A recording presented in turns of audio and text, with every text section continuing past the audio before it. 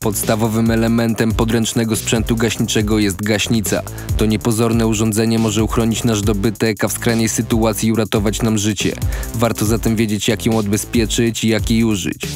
Pierwszą gaśnicą jest gaśnica proszkowa. Jest to zbiornik wypełniony proszkiem gaśniczym nabity ciśnieniowo gazem rozpraszającym. Gaśnica ta przeznaczona jest do gaszenia pożarów z grupy A, B i C, spotykana np. w biurowcach i hotelach.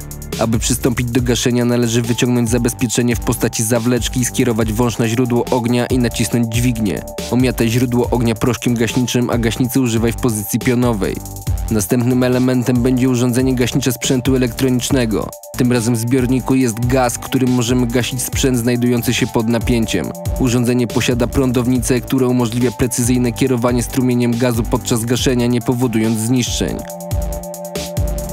Gaśnica śniegowa, spotykana w magazynach lub pomieszczeniach technicznych. Z środkiem gaśniczym jest tu sprężony dwutlenek węgla o wysokiej skuteczności gaśniczej. Przed użyciem należy pamiętać o bezpieczeństwie osób postronnych, zachować metr odległości i zapoznać się z instrukcją. Gaśnica samochodowa służy do gaszenia niewielkich pożarów, które mogą wydarzyć się nagle, np. podczas jazdy.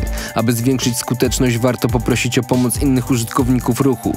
Ze względu na swoją budowę, gaśnicę samochodową należy odbezpieczyć, uzbroić i odczekać do 3 sekund. Kieruj środek gaśniczy pod uchyloną maskę lub w system wentylacji pojazdu. Ogień to bezlitosny żywioł. Warto wiedzieć, jak się przed nim bronić.